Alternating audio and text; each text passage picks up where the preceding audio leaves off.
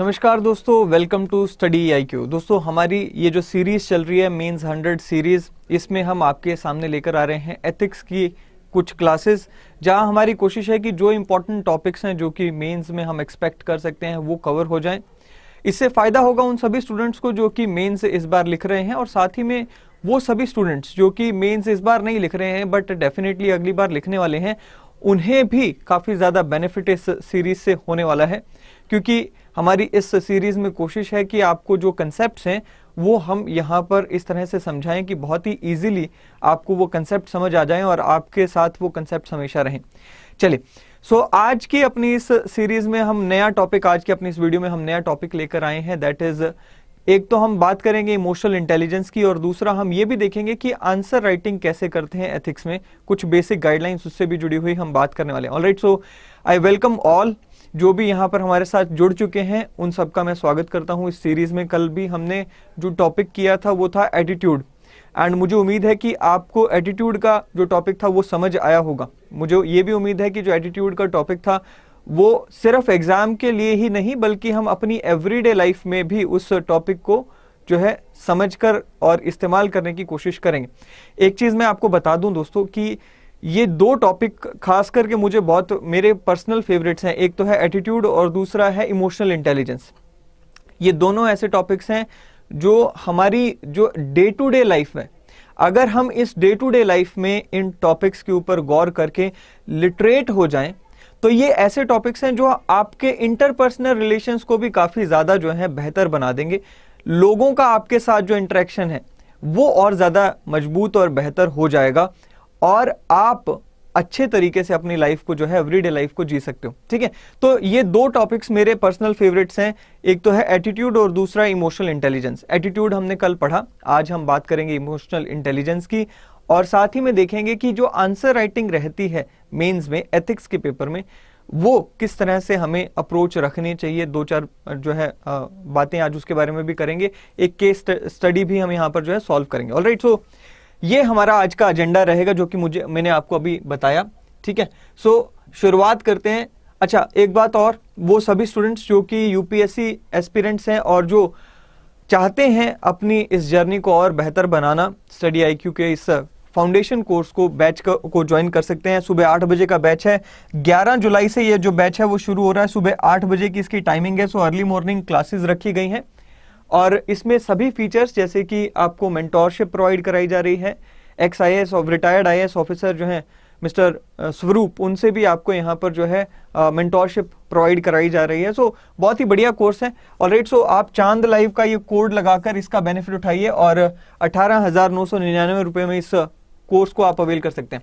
चलिए जैसे कि मैंने आपको कहा कि आज का जो हमारा टॉपिक है वो है emotional intelligence all right so good evening good evening all जो कि जो भी यहाँ पर जुड़ रहे हैं गुड इवनिंग सो आज का जो हमारा टॉपिक है वो है इमोशनल इंटेलिजेंस अब देखिए इमोशनल इंटेलिजेंस एक ऐसा टॉपिक है जो यूपीएससी भी आपको चाहता है कि आपके अंदर हो.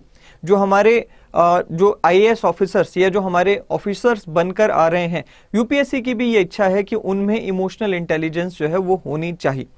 अब कैसे क्वेश्चंस आए हैं वो भी एक बार देख लेते हैं. यहाँ पर हम सब देखते हैं कि ये क्वेश्चंस जो हैं 2020 और 2019 के ही मैं क्वेश्चन पेपर से उठाकर लाया हूँ। 2020 में आपसे पूछा गया था what are the main components of emotional intelligence can they be learn और डिस्कस करना था इसको आपको 150 वर्ड्स में। ये 10 मार्क्स का क्वेश्चन आपका ये आया है 2020 में।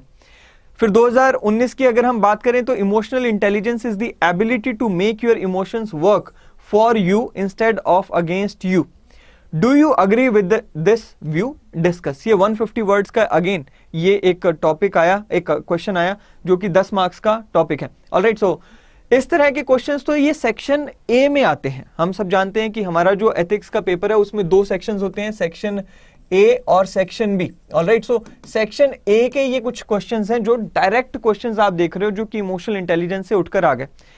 Alright so yes scoring and easy subject कौन सा है? सर मेरे हिसाब से तुषार जी ये, एथिक्स से बेटर स्कोरिंग सब्जेक्ट कोई नहीं है अगर आपकी एथिक्स पे होल्ड हो शुरू से। ऑलराइट हम गलती यही करते हैं कि हम एथिक्स को बाद के लिए छोड़ देते हैं। ऑलराइट आप कोई भी पेपर उठा के देखिए। जो टॉपर्स रहते हैं उनके मैक्सिमम मार्क्स कितने होते हैं? 100 के आसपास रिवॉल्व करते हैं। 105 जीएस वन टू अगर थ्री की बात करें तो जीएस वन टू थ्री में 100 102 105 या फिर 98 कुछ इसी रेंज में रिवॉल्व करते हैं, है ना? लेकिन जब बात करते हैं हम एथिक्स की तो आप यहाँ पर 130 टू लेके 150 तक जो है आराम से इसमें स्कोर कर सकते हो। All right good evening Anjali good good evening so ये एक काफ़ी अच्छा स्कोरिंग सब्जेक्ट है यार। ऑल राइट सो इसमें आपको एफर्ट्स पुट करने चाहिए। ठीक है? अच्छा एक केस स्टडी है ये हमारी, ये आज हम डिस्कस करेंगे और राइट सो ये केस स्टडी को भी आप देख लीजिए। ये केस स्टडी हम जो है डिस्कस करके इसको किस तरह से आंसर लिखना है, वो भी आज हम देखेंगे और राइट सो ये केस स्टडी है क्या? वो थोड़ा सा देख लेते हैं। कहता जी, एक बहुत बड़ा कॉर्पोरेट हाउस था। इसको पहले इंग्लिश में पढ़ लेते हैं, फिर इंग्लिश हिंदी में all right so a big corporate house is engage in manufacturing the industrial chemicals in a large on large scale it proposes set up an additional unit.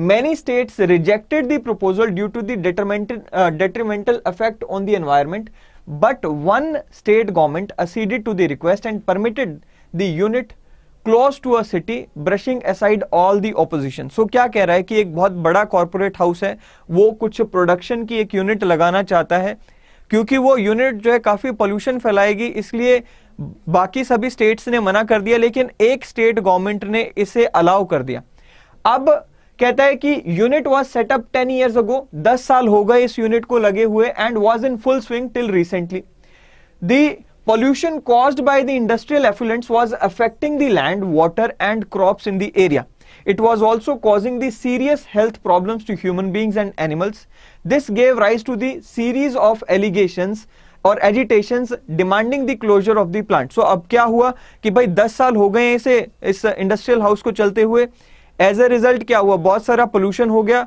जो एनिमल्स थे हेल्थ थी लोगों की, और जो प्लांट्स थे, सभी इफ़ेक्ट हो रहे हैं नेगेटिवली इफ़ेक्ट हो रहे हैं। और राइट इसी वजह से लोगों ने क्या किया? एजिटेशन शुरू कर दिया। In recent agitation thousand of people took part creating a law and order problem necessitating the stern police action ऐसे में क्या हुआ कि एक और ग्रुप जो इफ़ेक्ट हुआ था, क्योंकि उनकी एम्प्लॉयमेंट चली गई, क्योंकि पुलिस ने क्या किया? पुलिस ने इस इस, सॉरी स्टेट गवर्नमेंट ने क्या किया? इस फैक्ट्री को क्लोज कर दिया। क्योंकि बहुत ज़्यादा पोल्यूशन हो रहा था लोग यहाँ पर जो है एजिटेशन कर रहे थे। इसलिए स्टेट गवर्नमेंट ने जो फैसला लिया वो ये कि हम इस प्लांट को क्लोज कर रहे हैं। अब हुआ क्या? अब वो लोग जो इस प्लांट में काम कर रहे थे उनकी एम्प्लॉयमेंट चली गई। एज ए रिज़ल्ट वो लोग भी नाराज़ हो गए। All right, so the closure of the factory resulted in the unemployment of not only those who were working in the factory but also those who were working in the ancillary units. It was also badly affected the industries which dependent on the chemical manufactured by it. ऐसी situation में आपको आपके जो senior officer हैं उन्होंने power दी कि भाई आप इस पूरे मसले को सुलटाओ इस पूरे मसले को आप जो है हैंडल करो अब आपको यहाँ पर देखना है कि क्या करना है all right situation I believe की क्लियर हो गई होगी। हिंदी वालों के लिए भी मैं आपको हिंदी में दिखा देता हूँ ये। सिचुएशन बहुत ही क्लियर हो जानी चाहिए। सिचुएशन इतनी थी कि भाई गवर्नमेंट ने एक केमिकल प्लांट लगाने की परमिशन दी। केमिकल प्लांट लग भी गया। अल्टीमेटली क्या हुआ कि जब वो केमिकल प्लांट को चलते हुए 10 साल हो गए तो उससे एनवायरमेंट में भी पोल्यूशन हुआ, लोगों को भी दिक्कतें आई हेल्थ की और क्रॉप भी यहाँ पर डैमेज होता है। इसलिए एजिटेशन हुए। गवर्नमेंट ने वो प्लांट बंद करने का डिसीज़न ले लिया। अल्टीमेटली क्या हुआ कि जो लोग केमिकल फैक्ट्री में काम कर रहे थे, वो अनएम्प्लॉयड हो गए और इंडस्ट्रियल ग्रोथ रुक जाती है। ये सारे इश्यूज़ अब यहाँ पर आपको हैंडल करने हैं। अब आप ऐसी सिचुएशन में क्या डिसीज़न लोगे, क्यों डिसीज़न लोगे? ये क्वेश्चन में 250 मार्क्स में आपने जो है आंसर लिख के आना है। क्या आपकी आंसर राइटिंग अप्रोच रहेगी, वो आपको यहाँ पर बताना है। ऑलराइट एक तो ये, एक तो ये क्वेश्चन हो गया। सो so, अब हमें हमें जब आंसर राइटिंग करनी होती है उसमें हमें क्या अप्रोच रखनी होती है वो थोड़ा सा हम यहाँ पे देख लेते हैं। जब हम बात करते हैं दोस्तों सेक्शन ए की सेक्शन ए की अगर हम बात करें तो उसमें जो हमें आंसर राइटिंग करनी होती है उसमें कुछ पॉइंट्स का ध्यान रखना है पहले तो वो देख लेते हैं। फिर सेक्शन बी यानी कि जो केस स्टडी लिखते टाइम जो उसका जो आंसर लिखते टाइम हमें जो पॉइंट्स का ध्यान रखना होता है फिर वो हम देखेंगे। सबसे पहले तो एक चीज़ ये कि जब भी कोई आंसर लिख रहे हो उसमें ज़्यादा लंबे सेंटेंसेस का इस्तेमाल नहीं करना है। कई बार हमें देखने को मिलता है कि हम आंसर लिखना शुरू करते हैं और एक आंसर जो है वो पूरे पैराग्राफ एक ही लाइन जो है वो पूरे पैराग्राफ को भर देती है। एक तो ये चीज़ को हमें अवॉइड करना है। दूसरा ये कि सिंपल लैंग्वेज लिखना है। हमें फ्लावरी लैंग्वेज या फिर बहुत ही टफ वर्ड्स का इस्तेमाल नहीं करना है। एग्जामिनर जो है he is not looking for our you know English या हमारी हिंदी के लिए वो नहीं देख रहे हैं कि इनकी लैंग्वेज पे कितनी मज़बूत पकड़ है। वो ये देख रहे हैं कि इनका सोल्यूशन क्या है इनकी सोच क्या है। सो so, हमारी जो लैंग्वेज होनी चाहिए वो सिंपल होनी चाहिए। हमारा जो आंसर होना चाहिए वो करंट कंटेक्स्ट में होना चाहिए। ऑल right, जैसे मान लीजिए कोई कोर्ट आ गई। उस कोर्ट को आप करंट सिनेरियो से जोड़कर दिखाओ। अगर वो कोर्ट को आप करंट सिनेरियो से जोड़कर दिखा पा रहे हो तो ऐसे में आपको ज़्यादा बेटर नंबर मिलेंगे। अच्छा रिली रियल लाइफ जो एग्जांपल्स हैं, वो भी आप दे सकते हो। जैसे कि ये रशिया यूक्रेन का वॉर हो रहा है, उसका आप यहाँ पे एग्जांपल दे सकते हो। आपकी पर्सनल लाइफ से आप इन आंसर्स में एग्जांपल दे सकते हो। Value mapping of the great leaders जो ग्रेट लीडर्स हैं, जैसे कि महात्मा गांधी हो गए, डॉक्टर बी आर अंबेडकर हो गए, या फिर हम बात करें नेल्सन मंडेला की। आपको अभी से ये काम करना है कि इनकी वैल्यू मैपिंग करनी है। ना what is value mapping value mapping क्या होता है? तो हमें देखने को मिलता है कि वैल्यू मैपिंग का मतलब है कि आपको ये फाइंड आउट करना है कि कौन सा लीडर किस वैल्यू में विश्वास रखता था। आप मुझे बताइए कि महात्मा गांधी की अगर हम बात करें तो उनकी दो या तीन वैल्यूज़ आप मुझे बताओ जिसमें वो विश्वास रखते थे। महात्मा गांधी की अगर हम तीन प्रोमिनेंट वैल्यूज़ की बात करें तो वो आप मुझे बताओ कि कौन सी ऐसी वैल्यूज़ थी जिसमें महात्मा गांधी विश्वास रखते थे। फटाफट से मुझे टाइप करके बताइए। महात्मा गांधी की अगर हम बात करें तो।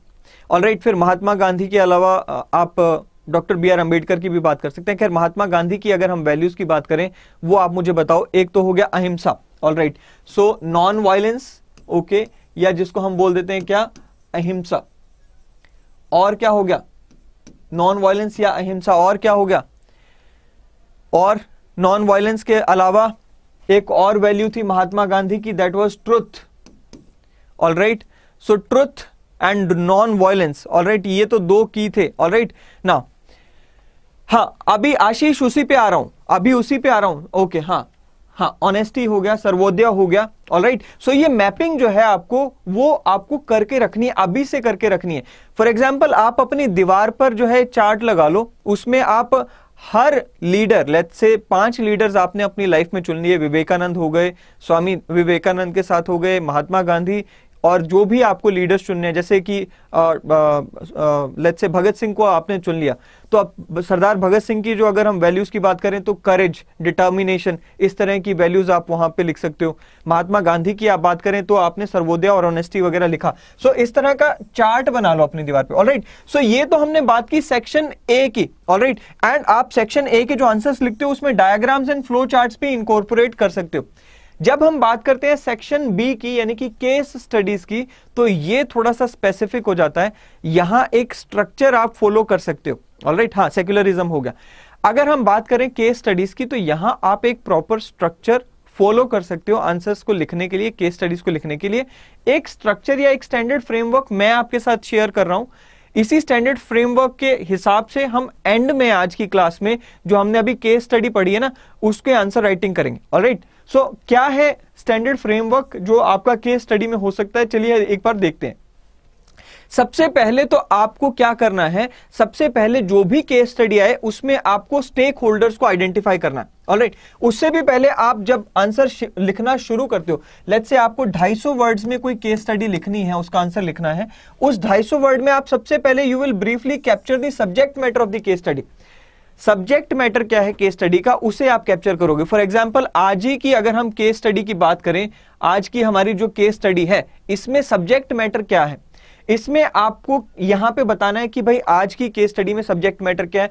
Can you please type it for me subject matter in the today's case study आज की अगर केस स्टडी की बात करें तो उसमें क्या सब्जेक्ट मैटर आपको दिखाई दे रहा है? ऑल राइट सो वो केस सब्जेक्ट मैटर आपने लिखा। जैसे कि आज की केस स्टडी का अगर सब्जेक्ट मैटर जो मुझे समझ आ रहा है, वो ये कि भाई as an officer I have to tackle the situation in such a way कि एनवायरमेंट डिग्रेडेशन जो हो रही थी, वो भी बच जाए और जो अनएम्प्लॉयमेंट की सिचुएशन आ रही है जो इंडस्ट्रियलाइजेशन खत्म हो रही है वो भी ना हो। तो ये मुझे यहाँ पर समझ आ रहा सो so, इससे मेरे जो एग्जामिनर होगा ऑल राइट इससे जो मेरा एग्जामिनर होगा उसे पता चल जाएगा कि भाई इसका कहने का क्या यहाँ पे अभिप्राय है ऑल राइट सो मैंने यहाँ पर आपके लिए लिखा भी है ऑल राइट ये सैंपल है कि इसमें गिवन सिचुएशन में आपको बताया आपने बताया कि भाई आज का जो हमारा केस स्टडी है उसका सब्जेक्ट मैटर क्या आपको समझ आ रहा है? ऑलराइट सो so, पहले तो आपने क्या करना है जो भी केस स्टडी आएगी उसमें आपने सब्जेक्ट मैटर लिखा।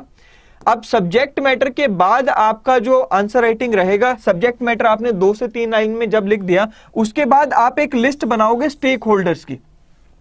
उस केस स्टडी में जितने भी स्टेक होल्डर्स हैं जितने भी लोग हैं जिनके हितों को असर या इफ़ेक्ट हो रहा है उन सब की केस स्टडी में लिस्ट बनाओगे। उसमें आप ह्यूमन बींग्स को भी रखोगे उसमें एनवायरमेंट को भी रखोगे उसमें गवर्नमेंट ऑर्गेनाइजेशंस को भी रखोगे उसमें आप प्राइवेट ऑर्गेनाइजेशंस को भी रखोगे। ऑल राइट हाँ। उसके बाद आप यहाँ पर जो है एथिकल डिलेमास पे आओगे। ये जो आप यहाँ पे लिख रहे हो ना एनवायरमेंटल एथिक्स जैसे अभी यहाँ पे नयन ने लिखा ओ, नयन नहीं okay thank you thank you Nayan. So so, जैसे अभी यहाँ पे दिनेश ने लिखा एनवायरमेंटल एथिक्स ऑलराइट अब ये एथिकल डिलेमास में आ गया। Environmental ethics versus employment so ये क्या हो गया? एथिकल डिलेमा हो गया। ऑलराइट सो इस तरह से आप एथिकल इश्यूज़ लिखोगे। Health issue pertaining to pertaining violence and unemployment जैसे आशीष ने ये लिखा कि health issue versus violence so ये जितने भी हेल्थ ये एथिकल डिलेमाज है, हम वो एनलिस्ट करेंगे। उसके बाद हम देखेंगे कि एज एन ऑफिसर मेरे पास क्या क्या ऑप्शंस अवेलेबल हैं। उस ऑप्शन के प्रोज क्या है, उसके कॉन्स क्या है। उसके बाद एंड में हम आएँगे कि भाई सबसे बेस्ट ऑप्शन मुझे क्या समझ आ रहा है उसके क्या पॉजिटिव पॉइंट्स हैं और एंड कर दूँगा मैं ठीक है? सो so, इस तरह से ये एक स्ट्रक्चर रहता है जब भी कभी आप कोई केस स्टडी का आंसर लिखते हो इसका अगर आप स्क्रीनशॉट लेना चाहो तो इसका स्क्रीनशॉट ले सकते हो आप। इसका अगर आप स्क्रीनशॉट लेना चाहिए तो आप चाहें तो इसका स्क्रीनशॉट ले लीजिए। ये स्ट्रक्चर को फॉलो कीजिए, आपको अच्छे मार्क्स इसमें जो है केस स्टडी में मिलेंगे। All right so this structure if you follow this structure of answer writing तो आपको अच्छे नंबर मिल जाएँगे। दैट का I can assure you all right चलिए। अब जो है, हम अभी केस स्टडी का आंसर तो हम सबसे बाद में डिस्कस करेंगे। लेकिन अब जो है, हम आज का जो हमारा टॉपिक है that is emotional intelligence all right so emotional intelligence का जो हमारा टॉपिक है एथिक्स का वो हम देखने वाले हैं। इमोशनल इंटेलिजेंस इसमें आपको concept and their utilities and application in administration and governance ये पढ़ना है। भावनात्मक समझ, ये आपका टॉपिक लिखा गया है। भावनात्मक समझ, अवधारणाएँ तथा प्रशासन और शासन व्यवस्था में उनके उपयोग और प्रयोग, ये आपका टॉपिक है। दैट इज़ इमोशनल इंटेलिजेंस जो कि आपको आज पढ़ना है। ऑलराइट अब ये इमोशनल इंटेलिजेंस ये जो फ़ोटो भी आप देख रहे हो, ये यहाँ पर, ये क्या हो रहा है? ये एक इमोशनली इंटेलिजेंट व्यक्ति अपने इमोशंस को कंट्रोल कर रहा है। Alright so that is what it is happening sir can you tell the pattern of answer writing Ashish आज की क्लास के एंड में हम आंसर राइटिंग करने वाले ऑलराइट आज की क्लास के एंड में जो हमने अभी केस स्टडी पढ़ी है, उसका आंसर मैं आपको प्रॉपर जो है होना चाहिए, वो आपके साथ डिस्कस करूँगा। हम वही आंसर राइटिंग करेंगे। ऑलराइट गॉट इट चलिए आगे बढ़ते हैं आगे बढ़ते हैं। सो so, इमोशंस की अगर हम बात करें सबसे पहले जो इमोशंस या जो हमारी भावनाएँ होती हैं ये क्या होती हैं? Emotion is not a tangible thing ये कोई ऐसी वस्तु नहीं है जिसे हम देख सकते हैं but this is the state of mind ये मेरी मनोस्थिति है। मुझे खुशी हो रही है तब भी मेरे मन की स्थिति है। मुझे गुस्सा आ रहा है तब भी मेरे मन की स्थिति है। मुझे रोना आ रहा है मैं उदास हूँ तब भी मेरी मनोस्थिति है। सो so, इमोशंस होते क्या है? दरअसल these are our subjective state of mind can be uh, reaction to the internal stimuli or an event that occurs in our environment. So मेरी मनोस्थिति एक ऐसी मनोस्थिति है जो कि या तो मेरे भीतर से होने वाले स्टिमुलाई का एक रिएक्शन होगा या फिर बाहर से हो रहे इवेंट्स का एक रिएक्शन होगा। मुझे किसी ने यहाँ पर प्रेज कर दिया आई विल बी हैप्पी अगर मुझे किसी ने यहाँ पर गलत बोल दिया तो maybe I will become sad अगर मुझे यहाँ पर किसी ने कहा कि भाई आप बहुत अच्छे दिखते हो तो मैं क्या हूँगा हैप्पी हो जाऊँगा सो so, इस तरह से इमोशंस क्या होते हैं? ये हमारी स्टेट ऑफ़ माइंड है। हमारी स्टेट हमारी मनोस्थिति है। इसी को हम क्या बोल देते हैं? इमोशंस ऑल राइट अब इमोशंस होते कितने प्रकार के हैं? तो देखिए there is no limit there is no limit कई सारे ऐसे स्कॉलर्स हैं जो कहते हैं, जी thousands of emotions are there हज़ारों इमोशन या हज़ारों भावनाएँ होती हैं। सर एथिकल वैल्यू इंपॉर्टेंट है आंसर में। बिल्कुल, अनिकेत एथिकल वैल्यूज़ तो डेफिनेटली आंसर में इंपॉर्टेंट है ही ऑलराइट सो लेकिन हमारे, अगर हम बात करें इमोशंस की तो हमारे जो जो आर्ट एंड कल्चर में जब हम पढ़ते हैं तो आर्ट एंड कल्चर में हम देखते हैं ना देर आर नाइन नव rasas all right so there are नव रसास यानी कि नो इमोशंस की हम बात करते हैं। वन इज़ श्रृंगार that is love then हास्यरस that is laughter then sorrow Karuna then रौद्र एंगर देन वीर रस यानी कि करेज फिर क्या हो गया? बिभत्स डिस्गस्ट फिर आ गया भयानक फियर एक और इमोशन और क्या है? अद्भुत वंडर एक और इमोशन और फिर शांत रस यानी कि पीस ये भी एक इमोशन ट्रैंक्वेलिटी ये भी एक इमोशन है. सो so, ये नव रसास की हम बात करते हैं पर बात सिर्फ़ यहीं खत्म नहीं हो जाती. बात यहाँ तक खत्म होती तो अलग थी. इन इमोशंस को हम जब इंटरमिक्स करते हैं तब भी और नए नए इमोशंस बनते हैं. इन इमोशंस को जब आप इंटरमिक्स करते हो, जैसे कि आपने यहाँ पर लेट्स से हैप्पीनेस एक इमोशन है ऑल राइट हैप्पीनेस को आपने करेज के साथ अगर मिला दिया तो क्या हो जाएगा? हैप्पीनेस को आप अगर करेज के साथ मिला दोगे तो आप एक्साइटेड हो जाओगे ऑल राइट इसी तरह से सैडनेस एक इमोशन है अगर आप सैड हो ऑल राइट सैडनेस को लेट्स से एंगर से मिला दोगे तो एक नया इमोशन क्रिएट हो जाएगा ऑल राइट सो इमोशंस जो हैं, ये कई सारे होते हैं। अब, हमारे काम की बात। हमारी इमोशनल इंटेलिजेंस की अगर हम बात करें तो there are four components in emotional intelligence emotional intelligence basically अगर हम आसान भाषा में बात करें तो इमोशनल इंटेलिजेंस का मतलब क्या है? इमोशनल इंटेलिजेंस का सिंपल शब्दों में अगर हम बात करें तो सिर्फ़ इतना सा मतलब है कि आप अपने इमोशंस को समझ रहे हो और अपने इमोशंस को समझने के बाद उन्हें मैनेज कर पा रहे हो। आप दूसरों के इमोशंस को समझ रहे हो और दूसरों के इमोशंस को समझने के बाद उन्हें मैनेज कर पा रहे हो। That is emotional intelligence so अगर हम सिंपल वर्ड्स में बात करें तो emotional intelligence is nothing but the understanding and management of your own emotions and understanding and management of others emotions. All right. आप जानते हो कि भाई ये चीज़ मुझे ट्रिगर करती है, इस चीज़ की वजह से मुझे गुस्सा आता है। आपने अपने इमोशन को समझ लिया। उसके बाद वो चीज़ जो कि आपको ट्रिगर करके गुस्सा दिलाती है, आप उससे बचोगे। That is emotional intelligence okay emotion को अपने पर हावी ना हो, उसके लिए क्या करना चाहिए? भाई, वो सारी चीज़ें आज हम डिस्कस करने वाले हैं। रिलीजन में क्या क्या लिखा हुआ है कि आपके ऊपर इमोशन हावी ना हो तो उसके लिए क्या करें? और और किस तरह से हम इमोशनल इंटेलिजेंस को सीख सकते हैं, वो सब हम देखने वाले एक चीज़ याद रखना देर आर टू थिंग्स एक है इमोशनल इंटेलिजेंस या फिर जिसे हम इमोशनल क्वेश्चन भी बोल देते हैं।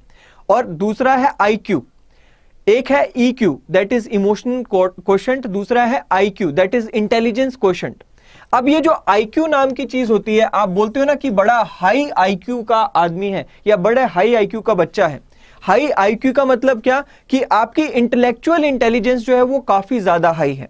You know the things you know the understand the things emotional question की अगर हम बात करें तो इमोशनल क्वेश्चन अगर आपका हाई है, इसका मतलब you have high emotional intelligence आप अपने इमोशंस को समझकर उन्हें मैनेज करना जानते हो, आप दूसरों के इमोशंस को समझकर उन्हें मैनेज करना जानते हो. अब ये आईक्यू की अगर मैं बात करूँ तो हमारा आईक्यू एक सर्टेन एज तक बढ़ता है. हम जब एक से लेके लगभग पाँच से छह साल तक के होते हैं, तब तक हमारा आईक्यू ग्रो होता है. उसके बाद हमारा आईक्यू नहीं बढ़ता। उस एज में जितना बढ़ गया बस बढ़ गया। लेकिन अगर मैं बात करूँ ईक्यू की यानी कि इमोशन क्वेश्चन की या हमारी इमोशनल इंटेलिजेंस की इसके ऊपर कोई एज की बाउंडेशन नहीं है।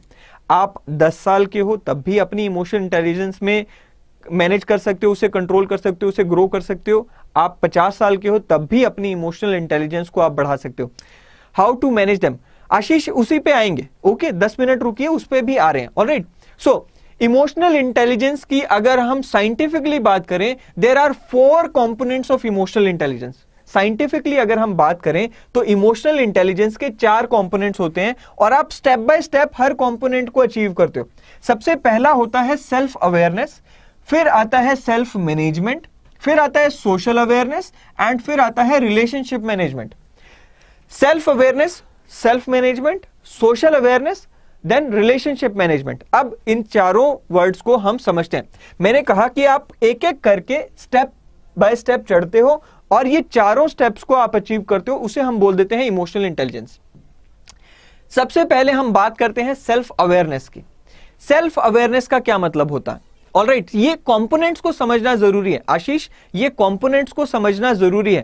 जब हम इन कंपोनेंट्स को समझते हैं उसी से हम आगे अवेयर होकर फिर हम बात करते हैं। जैसे कल हमने एटीट्यूड के केस में देखा था। एटीट्यूड में हमने क्या पढ़ा था? That there is there are three things in attitude क्या क्या सी ए बी हमारा cognitive affective and behavioural part हमारा नॉलेज पार्ट जिसे हम बिलीफ भी बोल देते हैं। हमारा क्या था? फीलिंग्स वाला पार्ट और हमारा एक्शन पार्ट इसी तरह से हमारे इमोशनल इंटेलिजेंस में देर आर फोर थिंग्स अब वो चारों चीज़ों को जब हम समझ लेंगे, उसके बाद हम पता कर पाएँगे कि भाई, हम कहाँ स्टैंड करते हैं। ऑलराइट सो आपने एटीट्यूड में तीन चीज़ें याद की थी। कैब आपने कैब याद किया था एटीट्यूड में? मैं देख पा रहा हूँ, बहुत सारे हमारे जो स्टूडेंट कल हमारी क्लास में थे they they understand understood that concept and वो लिख भी रहे हैं। एंड इमोशनल इंटेलिजेंस में we have to remember four things all right so there are four components self awareness self awareness या फिर आत्म जागरूकता अब आत्म जागरूकता या सेल्फ अवेयरनेस का मतलब क्या है? You recognise your own emotions and understand how they affect your thought and behaviour आप यहाँ पर अपने जो इमोशंस होते हैं, आप अपनी भावनाओं की पहचान करते हैं और समझते हैं कि वो आपके विचारों और व्यवहार को कैसे प्रभावित करती हैं। जैसे कि मैंने अभी आपको एक एग्ज़ाम्पल दिया। लेट्स एक एग्ज़ाम्पल ले लेते हैं। एक गाना था that you use to listen with your boyfriend और गर्लफ्रेंड आपका एक you were in a relationship all right so आप एक गाना अपनी बॉयफ्रेंड या फिर गर्लफ्रेंड के साथ बैठकर सुनते थे। And that song was favourite of yours all आप जब भी मिलते थे तो हाँ हाँ हाँ वही वाला गाना गाते थे ऑल एंड वो गाना जो है, आपकी वो रिलेशनशिप का एक बेंचमार्क बन चुका था ऑल राइट जब भी मिले, वो गाना गाकर ही मिलते थे। फिर आपका ब्रेकअप हो जाता है। नेचुरल है। अब जब ब्रेकअप हो गया, उसके बाद जब आपने वो गाना कहीं सुना दैट गाना और that song will trigger the amount of sadness और trigger the emotion of sadness in you अब आपने ये गाना जब सुना तो आपके अंदर एक emotion जागेगा that is the emotion of sadness अगर आपने यहाँ पर ये रियलाइज़ कर लिया कि दैट सॉन्ग ऑल राइट जो कि मैं सुनता होता था या मैं सुनती होती थी उसके साथ, अब अगर मैं सुनता हूँ या सुनती हूँ तो भाई नोस्टैल्जिया होता है सैडनेस आती है। और मुझे वो गाना अवॉइड करना चाहिए, मुझे वो गाना नहीं सुनना चाहिए तो आप यहाँ पर क्या कर रहे हो? सबसे पहले आपने आइडेंटिफाई कर लिया, और अगर आप उस गाने को अवॉइड कर पा रहे हो तो आपने सेल्फ मैनेजमेंट यानी कि अपने आप को मैनेज भी कर लिया ऑल राइट सो यहाँ पर कई सारे यस सर यस सर आ रहे हैं। ऑल राइट सिंगल वालों के लिए एग्ज़ाम्पल दू? ऑल राइट सिंगल वालों के लिए एग्ज़ाम्पल सोचो। आप सोचो कोई what happens and overcome with it right so हाँ यार, ये बहुत होता है है ना? बहुत होता है। ओके ओके ओके यहाँ पर देखो, हेमराज को तो याद भी आ गई। ठीक है। सिंगल लोगों के लिए एग्ज़ाम्पल क्या हो सकता है भाई? आप बताओ, अंकित सिंगल लोगों के लिए एग्ज़ाम्पल लेट्स से आपका कोई दोस्त था दोस्त के साथ आप बैठकर कहीं पर चाय पानी पीने जाते थे अब वो दोस्त जो है उसकी शादी हो गई और वो दोस्त अब आपसे बात नहीं, नहीं करता है ऑल राइट सो अब जब भी आप वहाँ चाय पीने के लिए जाते हो आपको अपने दोस्त की याद आ जाती है ठीक है? इतना चलेगा। सो वट विल हैपन आप वहाँ पे चाय पीने ही नहीं जाओगे। सो so, ये है इमोशनल इंटेलिजेंस जहाँ पर पहला स्टेप जो था that is identifying your emotions आप यहाँ पर सेल्फ अवेयरनेस कर रहे हो सेल्फ अवेयरनेस मतलब क्या? कि आपको किस चीज़ से बुरा लगता है, किस चीज़ से अच्छा लगता है। फॉर एग्ज़ाम्पल कई लोगों के लिए होता है कि कुछ भी करने का, मेरी ईगो हर्ट नहीं करने का, या फिर तू और कुछ मर्ज़ी कर ले, लेकिन मुझे ये वाली गाली मत दे। अब ये क्या है? ये ट्रिगर है। ये मुझे पता चल गया कि this is the trigger this is the point which triggers me all right so अगर मैं यहाँ पर ये आइडेंटिफाई कर लेता हूँ तो मैं यहाँ पे सेल्फ अवेयरनेस की एक्सरसाइज में जा चुका हूँ। इसी तरह से आप ये लगा लो कि आ, कोई मुझे अगर हंस के बात करे तो मैं पिघल जाता हूँ। अब मुझे पता है कि भाई अगर कोई मुझसे हंस के बात करता है तो इमोशनली मैं फूल बन जाता हूँ। ना this is self awareness all right manage your thoughts की आप सिंगल ओके चलिए। ठीक है। ना सेल्फ अवेयरनेस का मतलब सिर्फ़ इतना ही है कि कौन सी चीज़ों से आपको गुस्सा आता है कौन सी चीज़ों से आपको खुशी होती है, कौन सी चीज़ों से आप सैड हो जाते हो, कौन सी चीज़ों से आप एनर्जेटिक हो जाते हो एक्साइटेड हो जाते हो, ये सारे जो फैक्टर्स आप यहाँ पर आइडेंटिफाई करते हो, इसे बोलते हैं सेल्फ अवेयरनेस अब, जब सेल्फ अवेयरनेस हो जाती है, जब मुझे पता है कि भाई ये व्यक्ति मुझे जब भी गाली देता है या जब भी मुझे आँखें दिखाता है या जब भी मेरे साथ कोई भी यहाँ पर हरकत करता है तो मुझे गुस्सा आ जाता है। जब आपने ये आइडेंटिफाई कर लिया then we move on to the next step Ashish क्या कह रहे हैं but sir it gives warm feeling I don't think it should be controlled as I think does it do relates to Ashish please understand one thing please understand one thing मैंने पहले भी दिन एक आपको वो दिया था, एक एग्ज़ाम्पल दिया था. एग्ज़ाम्पल मैंने उस दिन भी ये दिया था कि let's say there is a TV आपके घर में टीवी है रिमोट है.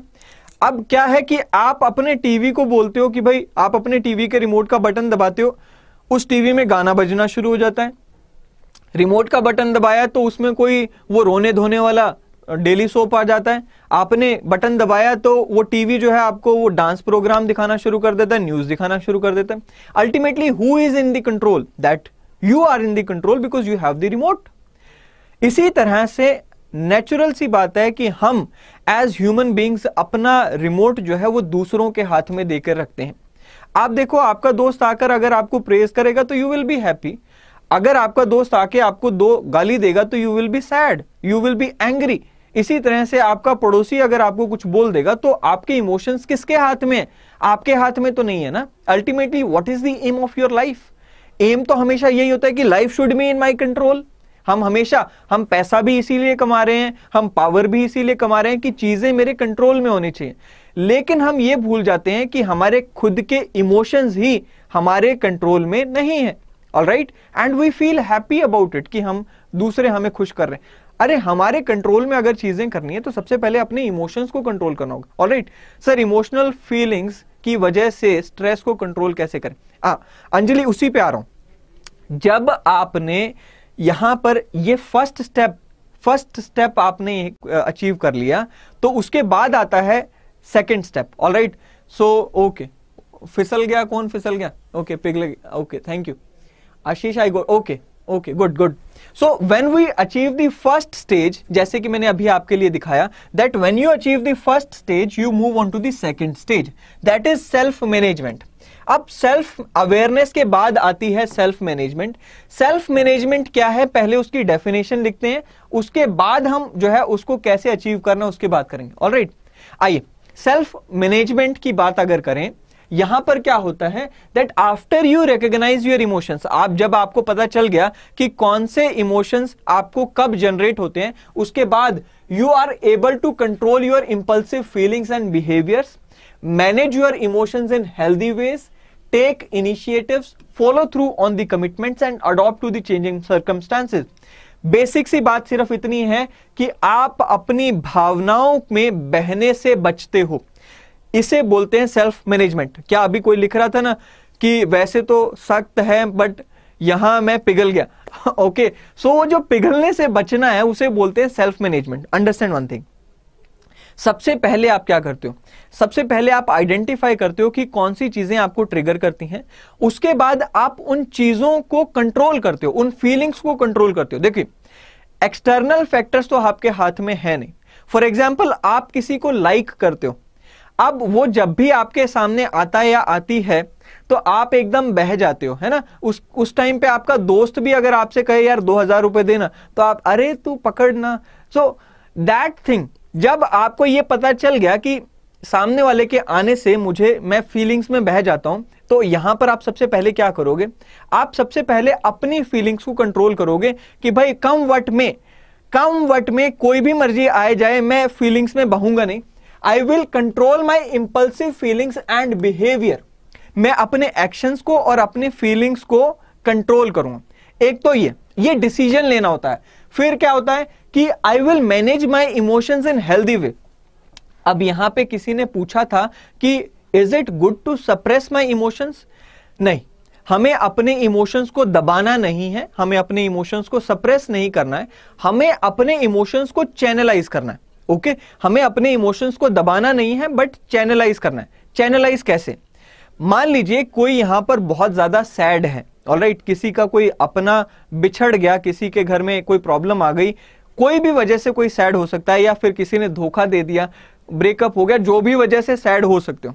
अब सैड होने के बाद यू हैव टू ऑप्शंस दुखी होने के बाद यू हैव टू ऑप्शंस आप एक क्या कर सकते हो? एक तो आप दुखी होकर रो पीट सकते हो बैठ सकते हो खाना छोड़ दिया जी सैड हो गए तो एक तो वो आपके पास रास्ता है। दूसरा है कि आप अपनी सैडनेस के इमोशन को पॉजिटिवली चैनलाइज करो। अपनी सैडनेस के इमोशन को पॉजिटिव चैनलाइज करने का क्या तरीका होता है? लिखना शुरू कर दिया पेंटिंग्स बनानी शुरू कर दी ऑल राइट पेंटिंग बना दी या फिर राइटिंग शुरू कर दी। अब जब बंदा सैड होता है तो फिर यू you नो know, जो है सभी शेर व शायरी जो है, गाने वाने जो है, वो उसी में ही लिखे जाते हैं ना?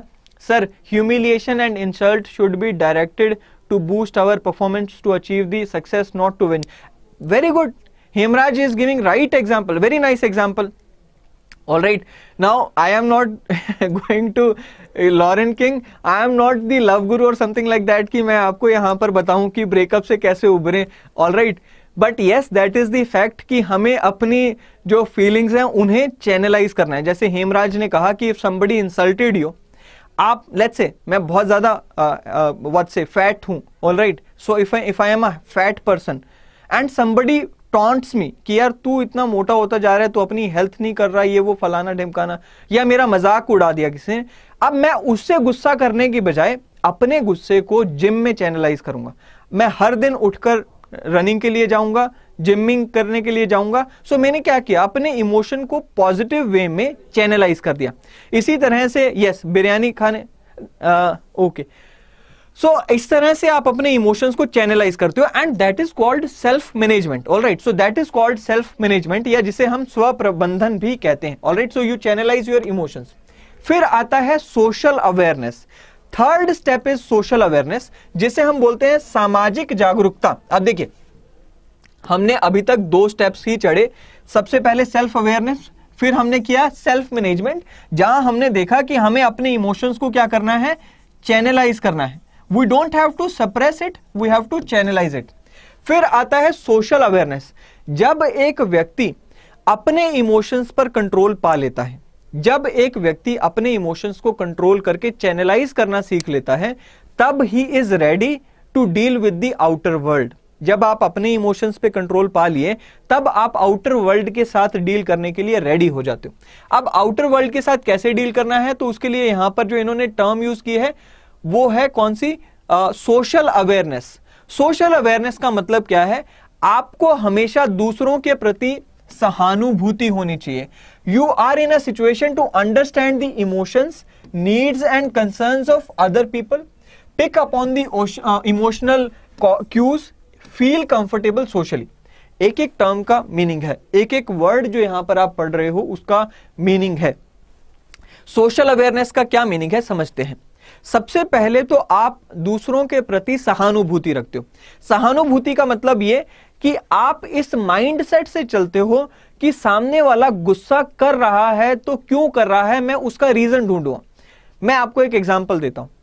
शुरू में मेरे साथ क्या होता था कि किसी ने अगर मेरे ऊपर गुस्सा कर दिया, मैं उसके ऊपर टूट कर यू नो उसको ऐसे हो जाता था कि भाई तूने गुस्सा कर कैसे दिया? And this is the general attitude this is the general behaviour जब भी किसी ने आपके ऊपर गुस्सा किया तो आपका नी जर्क रिएक्शन होता है कि हाउ डेयर यू आपने मेरे साथ ऐसा बोला कैसे?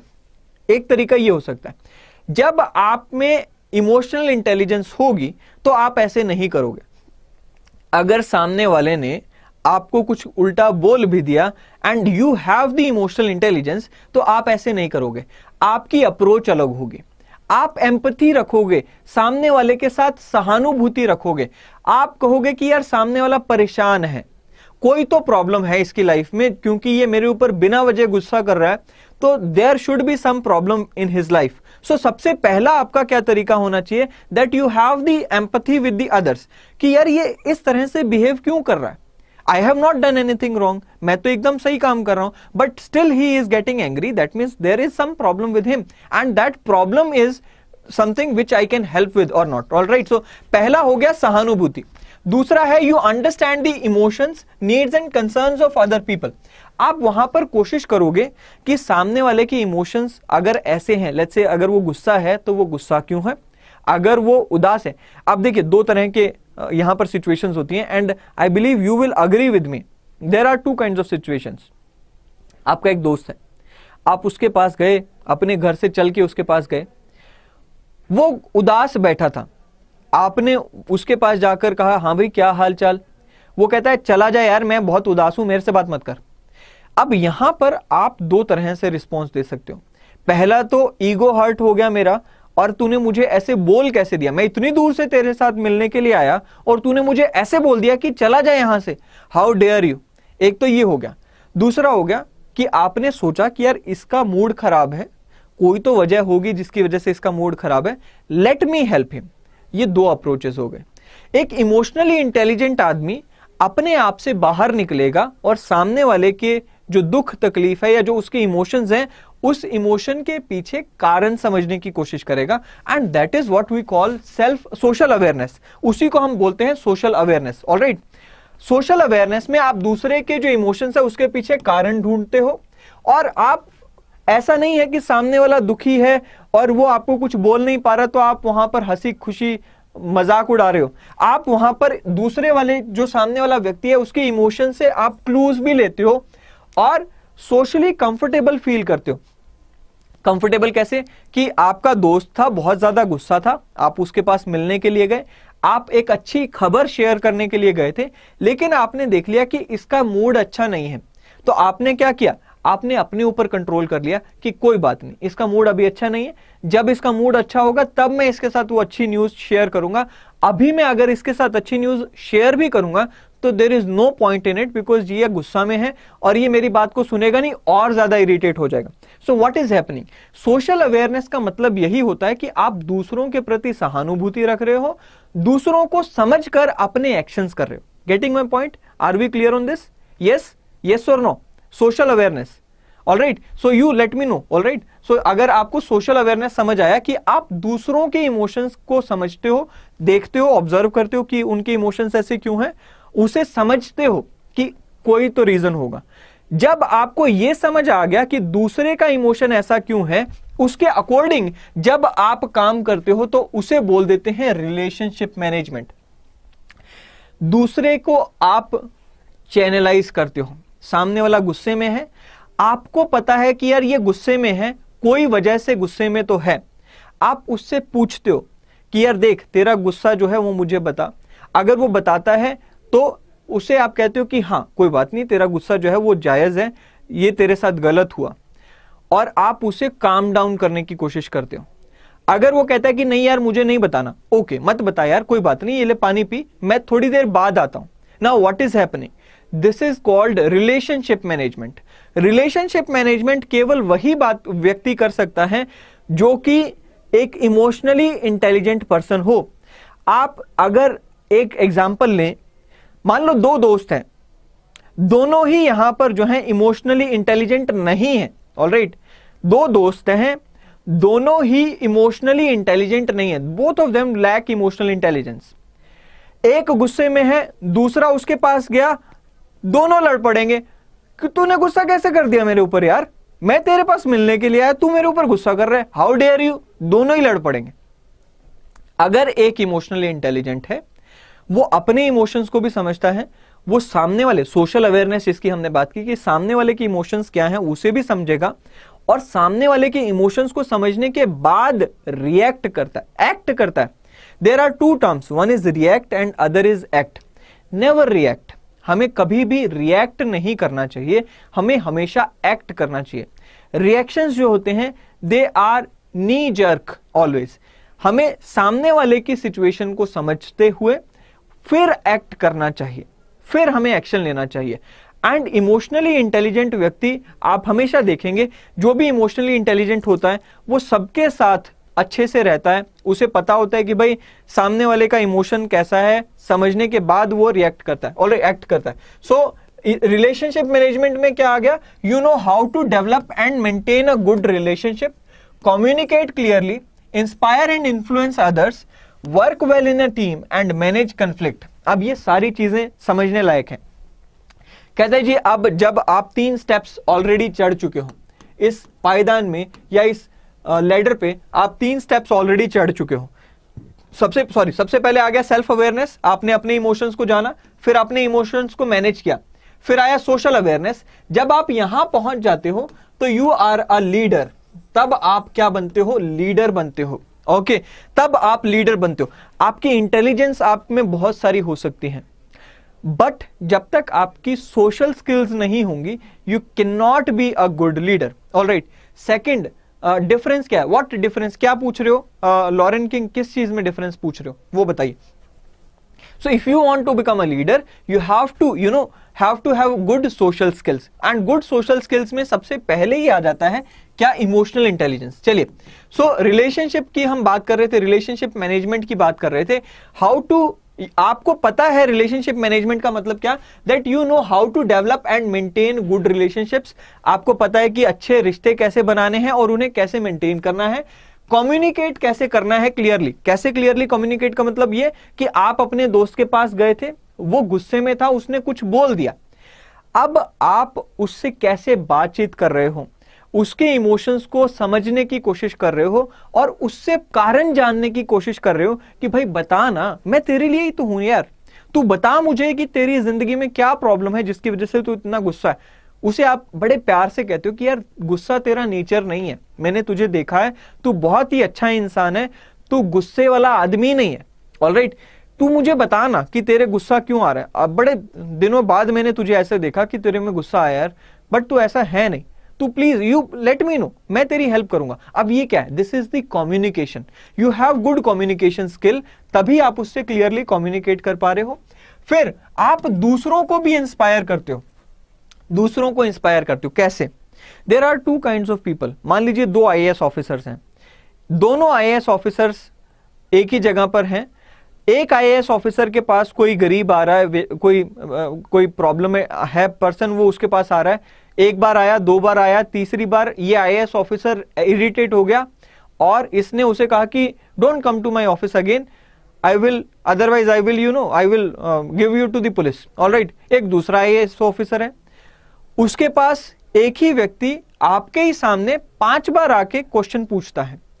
उस व्यक्ति ने जब भी क्वेश्चन पूछा आईएएस ऑफिसर ने बड़े प्यार से उसे जवाब दिया। और सामने वाले के जो इमोशंस है, सामने वाला दुखी भी था, तब भी उसके इमोशंस को उसने चैनलाइज कर दिया पॉजिटिवली मैनेज किया।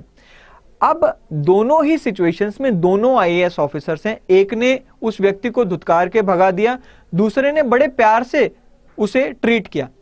दोनों में से कौन सा अच्छा एग्ज़ाम्पल है? पहले वाला या दूसरे वाला? यू टेल मी दोनों में से कौन सा अच्छा एग्ज़ाम्पल सेट करेगा?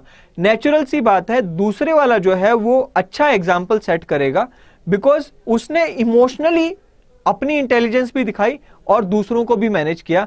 आप भी अगर फॉलो करना चाहोगे तो ये दूसरे वाले आई ऑफिसर को फॉलो करो। So emotionally intelligent people inspire others and influence others they are good in team and manage conflict team भी अच्छा चला लेते हैं वो।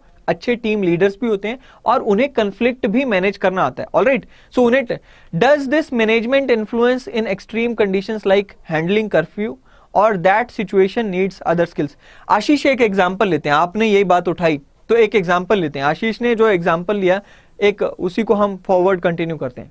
Okay okay. कोई मर्डर हो गया। मर्डर होने के बाद उस मर्डर जिस व्यक्ति का हुआ उस व्यक्ति के घर वालों ने उस मर्डर जिस व्यक्ति का हुआ, उसकी डेड बॉडी को सड़क पे रख के जाम लगा दिया।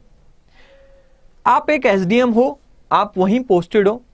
सड़क पे जो वाहन है, यातायात है, वो स्मूथली चलता रहे। This is your responsibility now आपकी सारी टीम मेंबर्स उन फैमिली मेंबर्स को समझाने के लिए जाते हैं कि भाई, ये सड़क मत जाम करो। आपका दुख दर्द ठीक है बट सड़क मत जाम करो। सड़क खुली रहने दो। उन्होंने कहा कि क्यों भाई, हमारा बंदा गया है, आप कुछ कर, प्रशासन कुछ कर नहीं रहा, हमारे व्यक्ति की डेथ हो गई and you are still concern about सड़क। ये कहते हैं कि हाँ यार, सड़क हटाओ ना, तुम सड़क से हटो ना, क्यों सड़क जाम करके बैठो तुम जाओ ना उधर।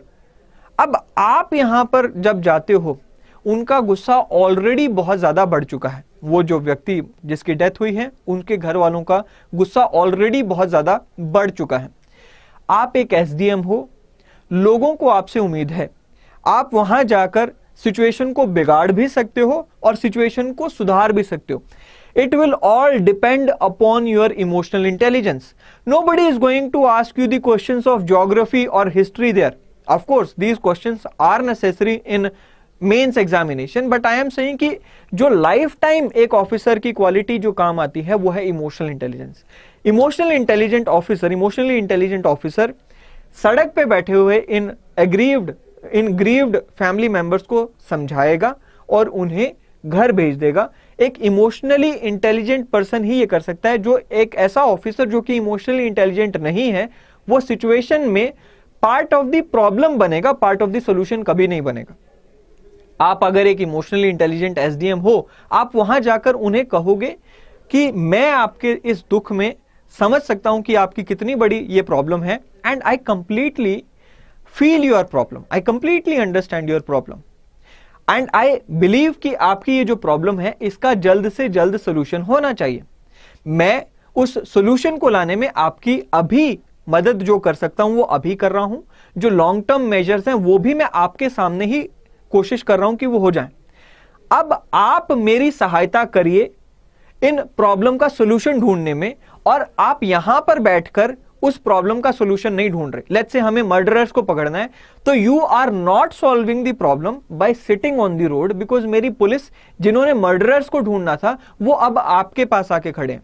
So if you will sit here हम दोनों ही उस प्रॉब्लम का सोल्यूशन नहीं ढूंढ रहे हैं। अगर हम दोनों को उस प्रॉब्लम यानी कि अगर हम दोनों को ही मर्डरर्स को पकड़ने में इंटरेस्ट है तो आप यहाँ से हटिए, ताकि मेरी पुलिस जो है, आपको यहाँ से हटाने के बाद वो जाकर अपना असल काम जो कि मर्डरर्स को पकड़ने का है, वो कर सके। Now this is how you communicate this is how you communicate with a grieved family एक ऐसा परिवार जिनका व्यक्ति ऑलरेडी जा चुका है, उन्हें समझाना आना चाहिए। उनके इमोशंस को समझकर कम्युनिकेट करना आना that is what you call relationship management और यही सबसे बड़ी क्वालिटी है जो ऑन ग्राउंड आपको काम आती है।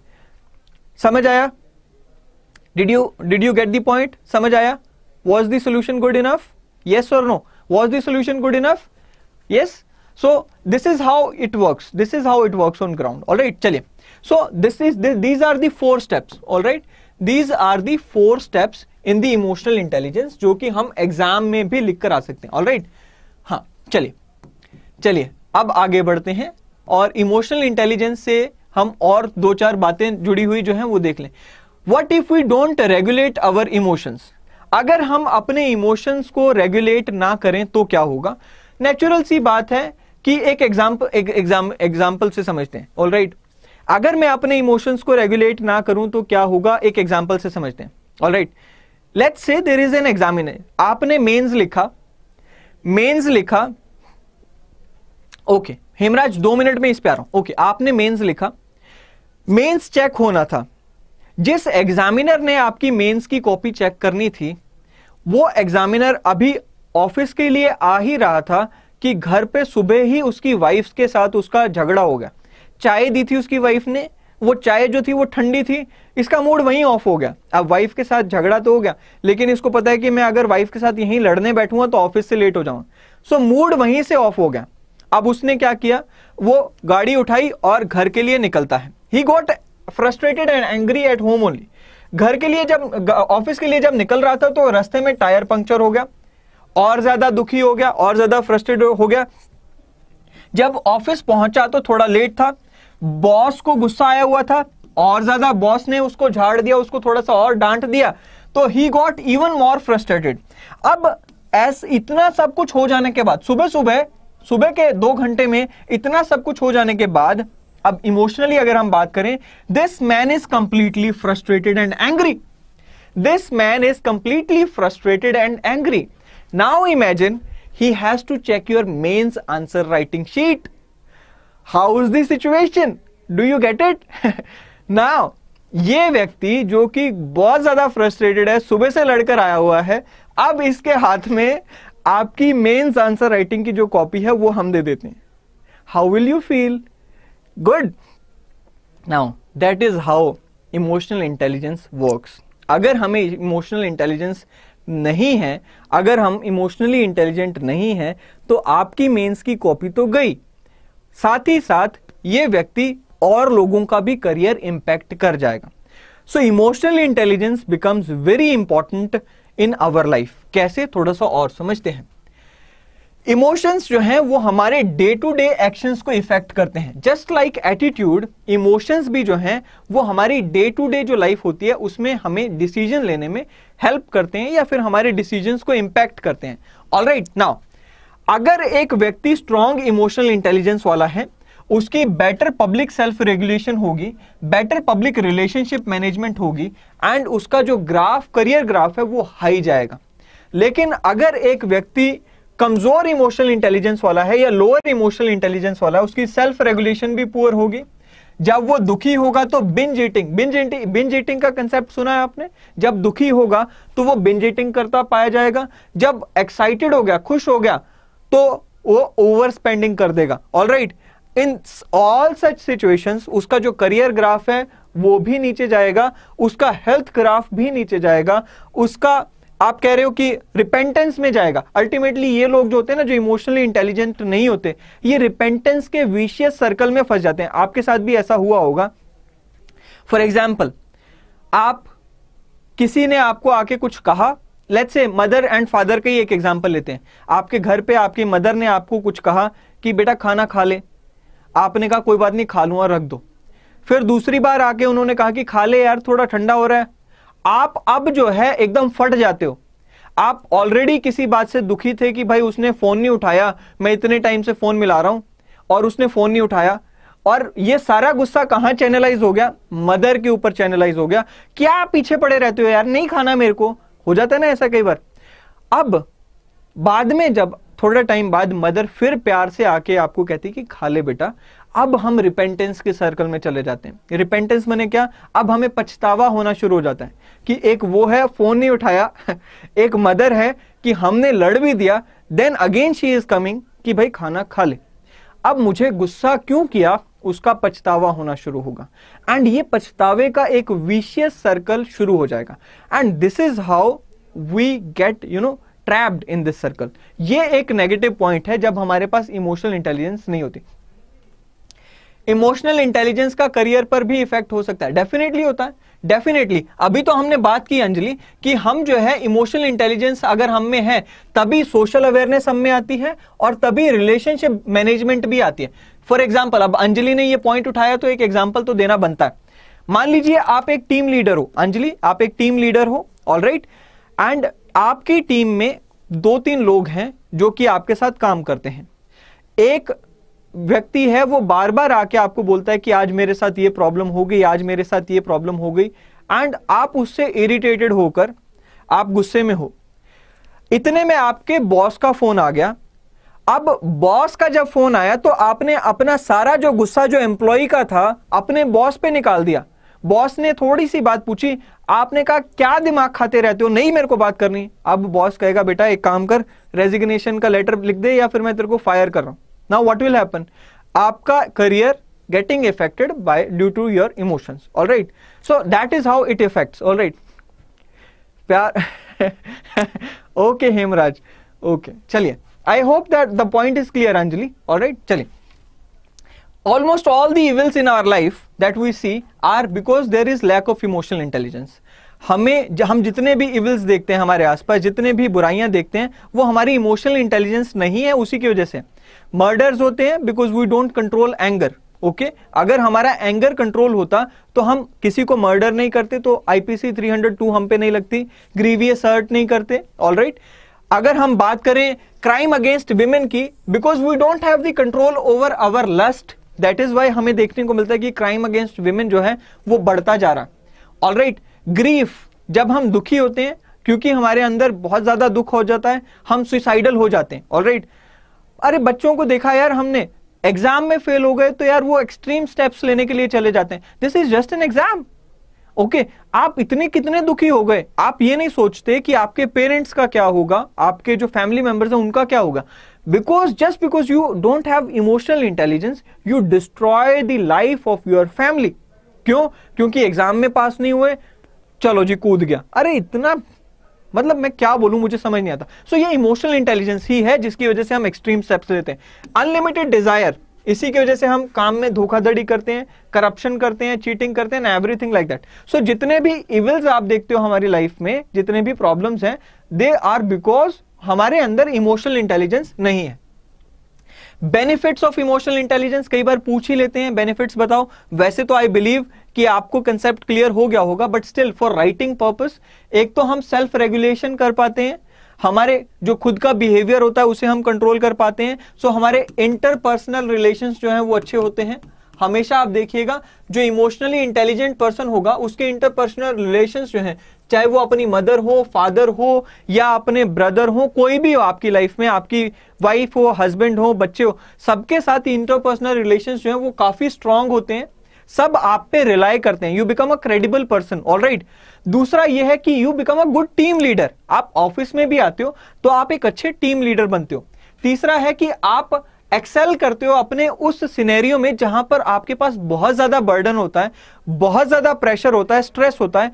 स्ट्रेस के अंदर भी आप अच्छा परफॉर्म करते हो। That is again a very you know that is again a very good trait about you know right so फिर आता है ability to manage your failures and success हमने बात की थी स्थित प्रज्ञा स्थित प्रज्ञा होने की। Do you remember that term पहले दिन हमने बात की थी कि स्थित प्रज्ञा हो जाओ।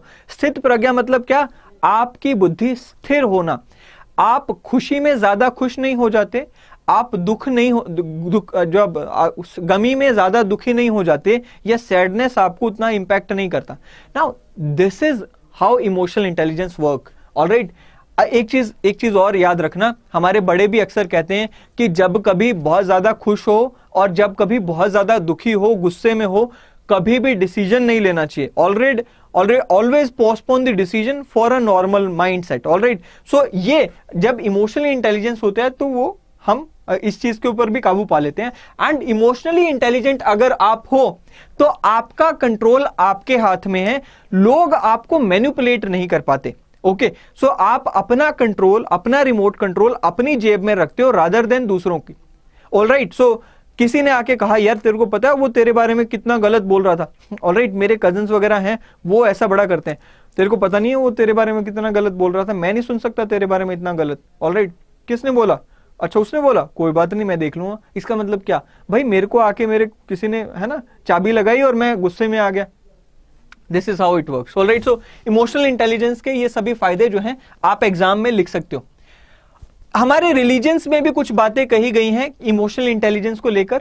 सबसे पहले तो हमें यहाँ पर यह बताया गया है योगा स्कूल की अगर हम बात करें तो योगा स्कूल में हमें कहा गया है कि the best way to gain control over your emotions is pranayama meditation and seva अगर आप अपने इमोशंस के ऊपर कंट्रोल करना चाहते हो तो pranayama meditation and seva this is the best way to control your emotions दूसरा, सिखिज्म में अगर हम बात करें तो उसमें एक ही बात कही गई कि मन जीते, जग जीत, यानी कि if you control your mind then you control the world और then you win over the world इसी तरह से अगर हम बात करें बुद्धिज्म की तो बुद्धिज्म में यहाँ पर मिडल पाथ की बात की गई है।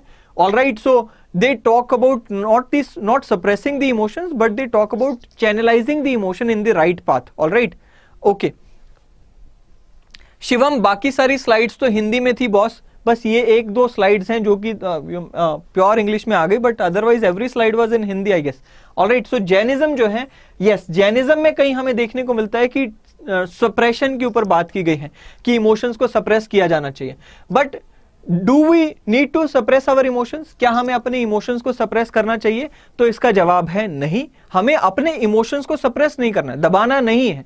हमें अपने इमोशंस को चैनलाइज करना है। एक एक कोट याद रखो। Whatever you resist it persist आप जिस चीज़ को रेजिस्ट करते हो, वो परसिस्ट करता है। यानी कि आप जिस चीज़ को अवॉइड करने की कोशिश करते हो या दबाने की कोशिश करते हो, वो दबेगा नहीं, वो उतने ही ज़्यादा प्रेशर से बाहर आएगा। All right so don't resist all right don't resist Hema is late today all right Hema क्या हुआ? लेट हो गया आज। टेलीग्राम आईडी सर की क्या है? All right my Telegram ID आप चाँद कुबा के नाम से सर्च करना, उसमें मैं आपको दे दूँगा। ऑल राइट सो कल रवीना, कल मैं ले आऊँ आईडी आज मैं भूल गया all right so anyhow Chand Kuba advocate चाँद कुबा के नाम से आता है, वो मिल जाएगा। Okay so emotional intelligence is not suppressing your emotions it is regulating and channelising them any emotion can be good और बैड अच्छा एक चीज़ और इंपॉर्टेंट सी बात बताता हूँ कि एक इमोशन अच्छा भी हो सकता है, बुरा भी हो सकता है depending on the situation for example anger is not bad always वैसे तो हम कहते हैं कि एंगर जो है बुरा है, गुस्सा हमेशा बुरा है। But if you think from other other perspective अगर हम एंगर कर रहे हैं, गुस्सा कर रहे हैं, दूसरे लोगों पर डेफिनेटली बुरा है। लेकिन अगर हम एंगर कर रहे हैं, गुस्सा कर रहे हैं, बुराई की तरफ़, अगर हम अपने एंगर को बुराई की तरफ़ चैनलाइज कर रहे हैं तो उसमें क्या बुराई है? करप्शन की तरफ़ आप एंग्री हो, कोई दिक्कत नहीं है। आप एंग्री होने चाहिए। आप क्राइम अगेंस्ट विमेन की तरफ़ एंग्री हो, आपको एंग्री होना चाहिए। All right so it is all about channelising your emotions in the right direction जो कि हमने पहले भी बात की। ऑल राइट चलिए। ओके लव की अगर हम बात करें love for nature is good इसमें कोई दिक्कत नहीं है। Hate for crime is good इसमें कोई दिक्कत नहीं है। ऑल राइट चलिए। ना गांधी जी का एक एग्ज़ाम्पल कई बार आप एग्ज़ाम में अगर कोट करना चाहो तो आप यहाँ पर कह सकते हैं कि Gandhi use empathy a key trait of emotional intelligence in gaining the admiration of people. अभी हमने बात की इफ़ यू रिमेंबर अभी हमने तीन, जब चार स्टेप्स पढ़े थे इमोशनल इंटेलिजेंस के तो उसमें सोशल अवेयरनेस में हमने बात की थी एम्पथी की। सोशल अवेयरनेस में हमने बात की थी सहानुभूति की। हमने कहा था कि इमोशनली इंटेलिजेंट व्यक्ति जो होता है, वो दूसरों के प्रति सहानुभूति रखता है। Now this same empathy was use by Gandhi ji Mahatma Gandhi also use this empathy and उन्होंने आकर कहा कि भाई इंडिया के लोगों, मैं समझता हूँ कि ब्रिटिशर्स ने तुम्हें हमेशा से दुखी किया है। मैं तुम्हारे दुख को समझ सकता हूँ। Now this is what we call empathy this is what we call sahanubhuti. Mahatma Gandhi ने यहाँ सहानुभूति दिखाई किसके साथ? इंडिया के लोगों के साथ। एंड इंडिया के लोगों ने महात्मा गांधी को अपना लीडर बना दिया। And this is how emotional intelligence work Mahatma Gandhi ने भी इमोशनल इंटेलिजेंस का इस्तेमाल किया एंड इंडिया के लीडर बने इंडिया को फ्रीडम की तरफ़ लेके गए। एंड इसीलिए मैंने कहा कि भाई इमोशनल इंटेलिजेंस जो है ना ऑन ग्राउंड काम करने वाला कंसेप्ट है। चलिए। तो ये हमने देखा how to develop emotional intelligence जो कि मेरे से सबसे पहले पूछा गया था। इसमें आप कोट कर सकते हो योगा स्कूल को, जहाँ हमने कहा कि मेडिटेशन जहाँ हमने कहा सेवा दैट इज़ सेल्फलेस सर्विस और हमने बात की प्राणायाम की। इसी के साथ साथ सबसे बड़ी जो यहाँ पर बात है, वो है सेल्फ अवेयरनेस कई सारे सेल्फ अवेयरनेस प्रोग्राम्स भी चलते हैं, आप उनका भी बेनिफिट उठा सकते हो। इमोशनल लिटरेसी ये एक और यहाँ सजेशन आप एग्ज़ाम में भी देकर आ सकते हो। इमोशनल लिटरेसी का मतलब यह है कि जो बच्चे होते हैं, उन्हें इमोशंस के प्रति, उन्हें इमोशंस के प्रति जागरूक बनाना चाहिए। स्कूल में ही, बच्चों के करिकुलम में ही हमें इमोशंस का कंसेप्ट लेकर आना चाहिए और बच्चों को वहीं पर इमोशंस के प्रति जागरूक बनाना चाहिए। उन्हें सिखाना चाहिए कि बेटा, हमेशा आपके अकॉर्डिंग काम नहीं होगा। जब आपके अकॉर्डिंग काम हो रहा है, आप खुश हो बट उससे ओवर एक्साइटेड नहीं हो जाना है। जब आपके अकॉर्डिंग काम नहीं हो रहा, आप दुखी नहीं होंगे या गुस्सा नहीं होंगे। यह बचपन से सीखी हुई बातें होती है। एक एग्ज़ाम्पल देता हूँ। Now you know my I have personal experience अभी कई सारे स्कूल्स है यहाँ पर uh, गुड़गांव दिल्ली में ही जहाँ पर बच्चों को ये सिखाने पर ज़ोर दिया जाता है कि जब भी बच्चा कोई चीज़ माँगता है तो तुरंत पेरेंट्स को उसकी वो डिमांड पूरी नहीं करनी चाहिए। क्यों? कारण यही है कि उसमें इमोशनल इंटेलिजेंस आनी चाहिए, उसे अपने इमोशंस को कंट्रोल करना आना चाहिए। And this is happening right now also there are some schools जो कि काफ़ी अच्छे स्कूल्स हैं, उनमें ये चीज़ें एम्फेसाइज की जा रही है। खास करके जो छोटे बच्चे होते हैं ऑल राइट सो वो, हम इमोशनल इंटेलिजेंस के लेसन हमारी जो रिलीजियस बुक्स हैं, जैसे कि भगवत गीता हो गया, उनसे भी ले सकते हैं। लीडर्स लाइक महात्मा गांधी उनसे भी, उनकी लाइफ से भी हम इमोशनल इंटेलिजेंस सीख सकते हैं। चलिए ये था जी कंसेप्ट ऑफ़ इमोशनल इंटेलिजेंस अब जो लोग मेरे साथ शुरू से जुड़े हुए हैं उनके साथ मैंने एक केस शुरू में ही डिस्कस किया था और मैंने बताया था कि ये जो केस है इसे आपने किस तरह से टैकल करना है। सो so, मैंने आपको यह भी बताया था कि भाई किस तरह से आप आंसर राइटिंग करेंगे खास करके किसकी? आ, खास करके जो है आपकी केस स्टडीज़ की। ऑल राइट सो ये एक हमने फ्रेमवर्क बनाया था। डू यू रिमेंबर दैट ये हमने एक फ्रेमवर्क बनाया था केस स्टडी को कैसे टैकल करने का जिसमें हमने कहा था कि सबसे पहले ब्रीफ में आप सब्जेक्ट मैटर बताएँगे फिर आप स्टेक होल्डर्स बताएँगे फिर एथिकल डिलेमा बताएँगे फिर ऑप्शन अवेलेबल एंड फिर the best option so these are the five steps remember that five steps जब भी आप आंसर राइटिंग कर रहे हैं so one two three four and five ये पाँच स्टेप्स को आपने रिमेंबर करना है. हैंड राइटिंग मेरी थोड़ी सी ऐसे ही है. सो so, थोड़ा सा है ना? मैं दोबारा लिखता हूँ. All right so this is the one this is two this is three this is four and this is five ये पाँच स्टेप्स हैं जो आपको आंसर राइटिंग के टाइम पे ध्यान रखने हैं। इन पाँचों स्टेप्स को याद कर लो भाई। इन पाँचों स्टेप्स को सबसे पहले क्या है? ब्रीफ ब्रीफली डिस्क्रिप्शन डिस्क्रिप्शन देनी है आपको सब्जेक्ट मैटर की। दूसरा है कि जो स्टेक होल्डर्स इन्वॉल्व हैं, वो आपको आइडेंटिफाई करना है। तीसरा एथिकल डिलेमा आइडेंटिफाई करना है। चौथा है ऑप्शन अवेलेबल आइडेंटिफाई करने हैं और उनके प्रोज एंड कॉन्स लिखने हैं। एंड पांचवा है कि जो बेस्ट ऑप्शन आपको नज़र आता है, वो लिखोगे। अब केस स्टडी की अगर हम बात करें तो केस स्टडी कुछ इस तरह से थी कि एक बहुत बड़ा कॉरपोरेट हाउस था। वो कॉरपोरेट हाउस जो है केमिकल मैन्युफैक्चरिंग का बिज़नेस करता था। उन्होंने एक नया प्लांट लगाने की सोची। उन्होंने जब नया प्लांट लगाने के लिए अलग अलग स्टेट्स में गए तो किसी स्टेट गवर्नमेंट ने उन्हें परमिशन नहीं दी सिवाय एक के। एक स्टेट गवर्नमेंट ने उन्हें परमिशन दे दी और उस स्टेट में इन्होंने प्लांट लगा दिया। वो प्लांट 10 साल के लिए चलाया। 10 साल होते होते समझ आ गया लोकल वहाँ के एरिया के लोगों को कि ये प्लांट जो है बहुत ज़्यादा हार्मफुल है। और उन्हें यह पता चल गया कि इस प्लांट से जो है बहुत सारा एनवायरमेंटल पोल्यूशन हो रहा है, हमारी हेल्थ इफ़ेक्ट हो रही है और हमारे क्रॉप्स पे भी इफ़ेक्ट हो रहा इसलिए लोगों ने एजिटेशन किया। अल्टीमेटली गवर्नमेंट को डिसीज़न लेना पड़ा कि वो प्लांट यानी वो फैक्ट्री को बंद किया जाए। फिर जब यह फैक्ट्री बंद हो गई तो दूसरे लोग सड़क पर आ गए जिनका एम्प्लॉयमेंट इफ़ेक्ट हुआ था। मैंने यहाँ पर बताया कि कई सारे लोगों की नौकरी चली गई। कई सारी ऐसी छोटी छोटी इंडस्ट्रीज़ थी जो कि इस बड़े प्लांट पे डिपेंडेंट थी, उनका काम बंद हो गया और अल्टीमेटली काफ़ी ज़्यादा इकोनॉमिकली इंपैक्ट आया क्योंकि ये फैक्ट्री बंद हुई। ऐसी सिचुएशन में आप एक सीनियर मिनिस्टर हो और आपको बताया गया कि आपने इस सिचुएशन को हल करना है। आपने इस सिचुएशन को हल करना है। अब आप इस सिचुएशन को कैसे हल करोगे? तो इसके लिए मैंने आपको बताया कि भाई, ये फ्रेमवर्क है आंसर राइटिंग के टाइम पे, जो कि आप ध्यान रखोगे। हिंदी में मैं बता रहा हूँ, शिवम, हिंदी में बता रहा हूँ, उसको आप समझिए। हिंदी में सबसे पहले तो आप सब्जेक्ट मैटर को थोड़ा सा डिस्क्राइब करोगे। वहाँ बताओगे कि पूरी जो केस है, उसमें मेन मुद्दा क्या है। ऑल राइट सो सबसे पहले मुद्दा बताओगे? अंजलि पहले एक बार इसको देखते हैं फिर उस पर आएँगे। ऑल राइट सो पहले तो आप मेन मुद्दा बताओगे। दूसरा आप बताओगे स्टेक होल्डर्स यानी कि किन किन के हितों को यहाँ पर हानि या नुकसान या फ़ायदा पहुँचने वाला सो so, किन के हित इसमें जुड़े हुए हैं? तीसरा आप बताओगे एथिकल डिलेमा क्या क्या है? यानी कि अगर हम नैतिक तौर से देखें तो यहाँ पर कहाँ पर कंफ्यूजन या दुविधा? नैतिक दुविधा कहाँ पे है? फिर आप बताओगे कि आपके पास क्या क्या करने के समाधान या फिर ऑप्शंस अवेलेबल हैं। और शिवम, पांचवा, आप सबसे सही समाधान बताओगे और उस समाधान के करने से क्या फ़ायदे या क्या नुकसान होंगे वो बताओगे। अब ये केस स्टडी आपने पढ़ी। अब इस केस स्टडी को आप अपने हिसाब से करो। मैं आपको अपना एक आंसर जो है, जो मुझे समझ आया, वो बताता हूँ। ऑल राइट सो सबसे पहले हमने क्या किया? मैंने आपको यहाँ पर ब्रीफ बताया इस केस स्टडी का।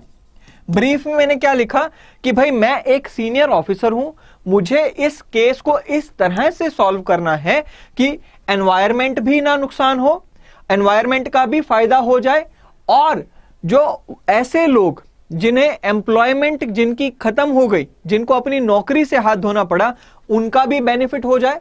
इंडस्ट्री की ग्रोथ भी प्रभावित ना हो, ऐसा डिसीज़न मुझे कुछ लेना है। जब मैंने ये बात लिख दी आंसर में ये एक लाइन पढ़ते ही एग्जामिनर को पता चल जाएगा कि भाई ये जो बंदा है ना, इसको केस अच्छे से समझ आ चुका है।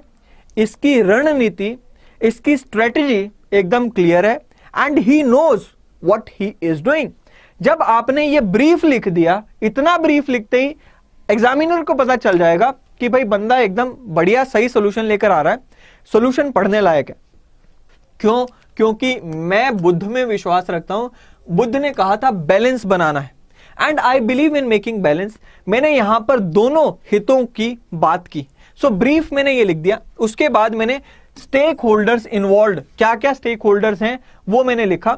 मैंने कहा जी इसमें इंसानों का और जानवरों का भी हित इन्वॉल्व है। वो सभी इंसान और जानवर जिनको पोल्यूशन से यहाँ पे नुकसान झेलना पड़ा उनका हित इन्वॉल्व है।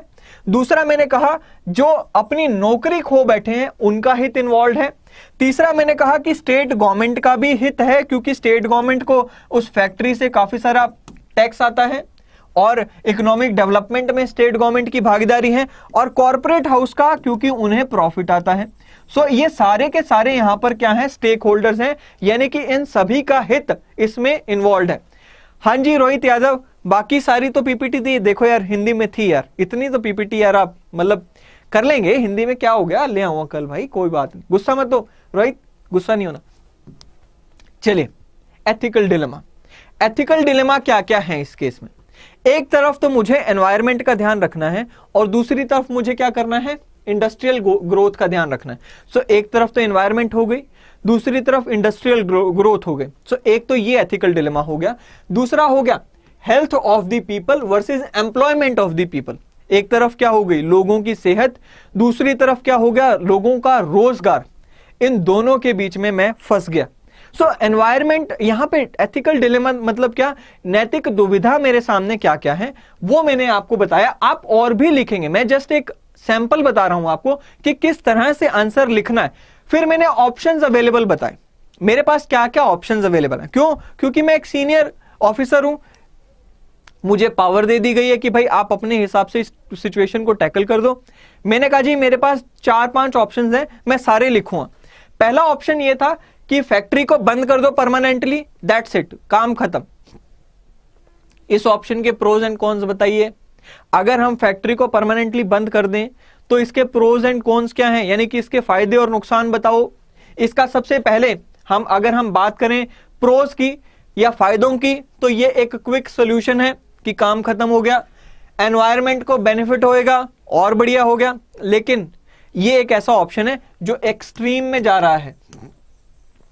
जो कहा गया? एक्सट्रीम में चला गया। इसलिए हमें इसके नुकसान ज़्यादा बताने हैं, क्योंकि इसके नुकसान वाकई में ज़्यादा है।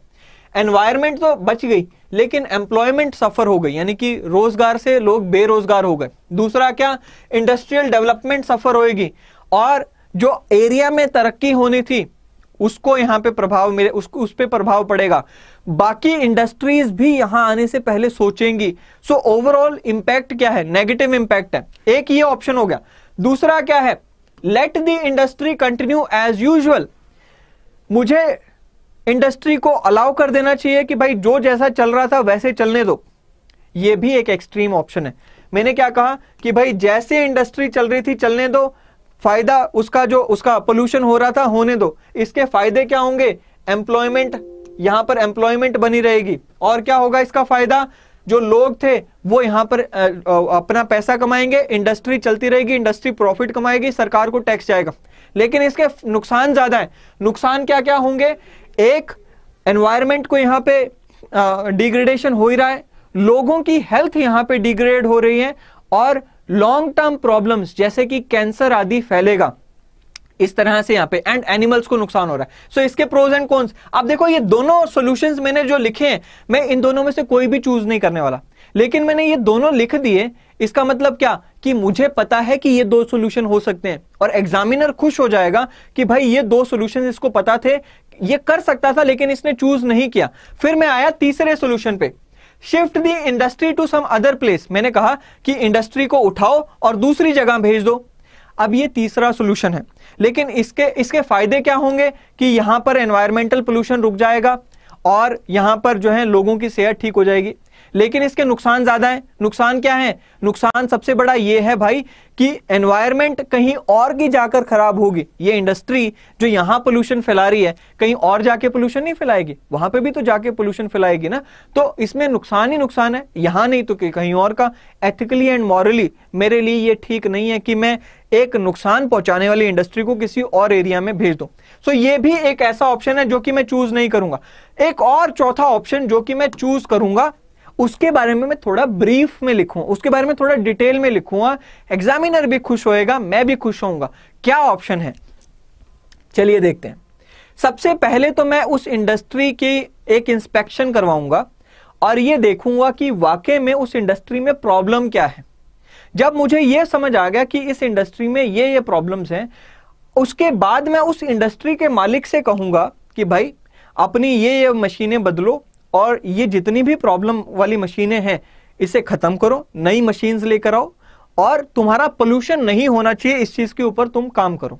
आप देखो, यहाँ पे शुरुआत में ही लिख दिया कि it is a very big corporate house यानी कि एक बहुत बड़ा कॉरपोरेट हाउस है और इनको एक इंडस्ट्री में थोड़ा सा पैसा खर्च करने से कोई फ़र्क नहीं पड़ेगा।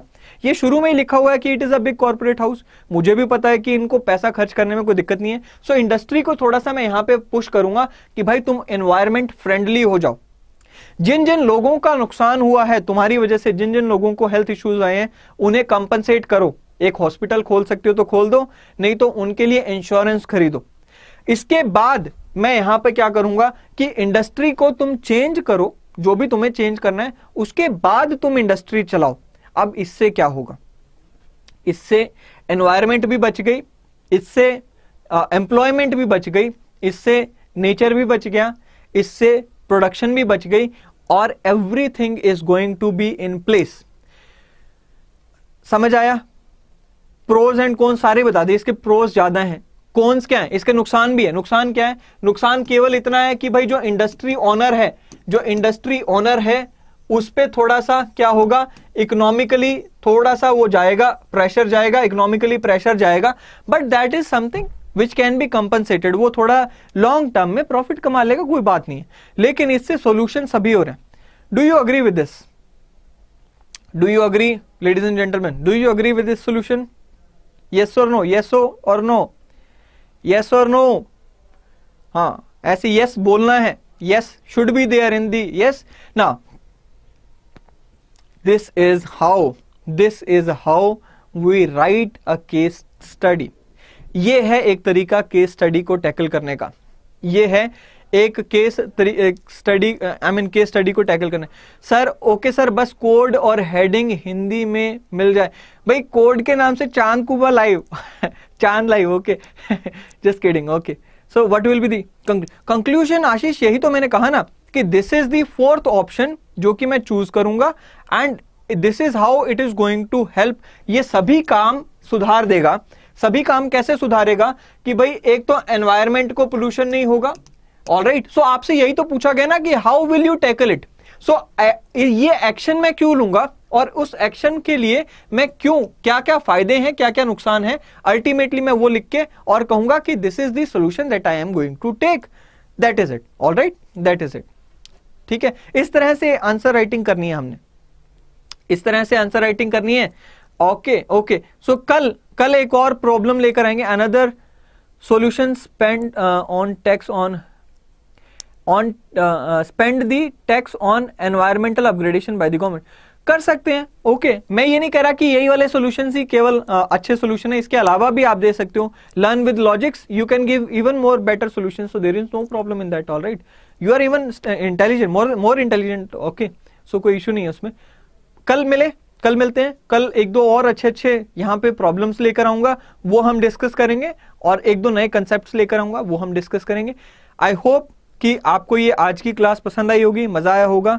ओके एंड कल की क्लास और ज़्यादा बेहतर हम लेकर आने की कोशिश करेंगे। All right and if you want to join with me आप चाँद कुबा सर्च कर सकते हैं। एंड टेलीग्राम इंस्टाग्राम हर जगह पर आपको अकाउंट मिल जाएगा। टेलीग्राम पर मैं जो है अपना ये आ, क्या बोलते हैं पीपीटी मैं वहाँ पे शेयर करता हूँ। राइट सो आज की डेट में तो मैं स्लाइड लेकर नहीं आया बट कल मैं शेयर करता हूँ। राइट चलिए कल मिलते हैं boss thank you thank you for being there with me डेढ़ घंटा हो गया आपके साथ, बड़ा मज़ा आया। Okay how to use the case study in two hundred Ashish, ये टू हंड्रेड वर्ड्स में आ जाएगा टू फिफ्टी वर्ड्स में आ जाएगा। All right don't worry okay चले ठीक है thank you thank you bye